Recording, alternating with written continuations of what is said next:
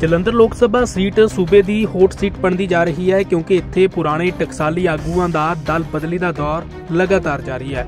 ਤਾਂ ਹੁਣ ਇੱਕ ਹੋਰ ਅਹਿਮ ਖਬਰ ਹੈ ਕਿ ਆਮ ਆਦਮੀ ਪਾਰਟੀ ਨੇ ਬੀਜੇਪੀ ਨੂੰ ਝਟਕਾ ਦਿੱਤਾ ਹੈ। ਯਾਨੀ ਕਿ ਬੀਜੇਪੀ ਨੂੰ ਝਟਕਾ ਲੱਗਿਆ। ਪੰਜਾਬ 'ਚ ਆਮ ਆਦਮੀ ਪਾਰਟੀ ਦੇ ਵਿੱਚ ਸ਼ਾਮਲ ਹੋ ਗਏ ਨੇ Robin Sampla.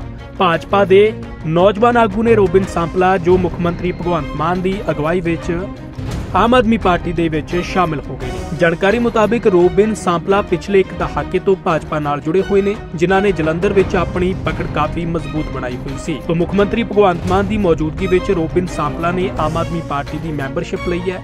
Robin Sampla Bhajpa SC ਮੋਰਚਾ ਦੇ ਮੀਤ ਪ੍ਰਧਾਨ ਵੀ ਨੇ।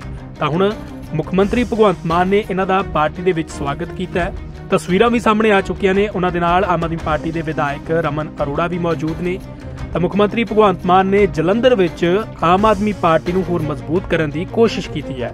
ਜਲੰਧਰ 'ਚ ਜਿੱਥੇ ਆਮ ਆਦਮੀ ਪਾਰਟੀ ਦੇ ਐਮਪੀ ਸੁਸ਼ੀਲ ਰਿੰਕੂ ਅਤੇ ਮੌਜੂਦਾ ਵਿਧਾਇਕ ਸ਼ੀਤਲ ਅੰਗੁਰਾਲ ਆਮ ਆਦਮੀ ਪਾਰਟੀ ਛੱਡ ਕੇ ਬੀਜੇਪੀ 'ਚ ਸ਼ਾਮਿਲ ਹੋ ਗਏ ਸਨ।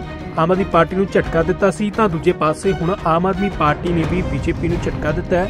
ਭਾਜਪਾ ਨੂੰ ਝਟਕਾ ਲੱਗਿਆ ਹੈ ਕਿ ਆਮ ਆਦਮੀ ਪਾਰਟੀ ਦੇ ਵਿੱਚ ਉਹਨਾਂ ਦਾ ਇੱਕ ਨੌਜਵਾਨ ਆਗੂ ਸ਼ਾਮਲ ਹੋ ਗਿਆ ਹੈ। ਵਿਜੇ ਸਾਂਪਲਾ ਦੇ ਰਿਸ਼ਤੇਦਾਰ ਦੱਸੇ ਜਾਂਦੇ ਨੇ ਰੋਬਿਨ ਸਾਂਪਲਾ। ਵਿਜੇ ਸਾਂਪਲਾ ਵੀ ਪਿਛਲੇ ਕਈ ਦਿਨਾਂ ਤੋਂ ਦੱਸਿਆ ਜਾ ਰਿਹਾ ਹੈ ਕਿ ਬੀਜੇਪੀ ਤੋਂ ਟਿਕਟ ਨਾ ਮਿਲਣ ਕਰਕੇ ਨਾਰਾਜ਼ ਚੱਲ ਰਹੇ ਨੇ।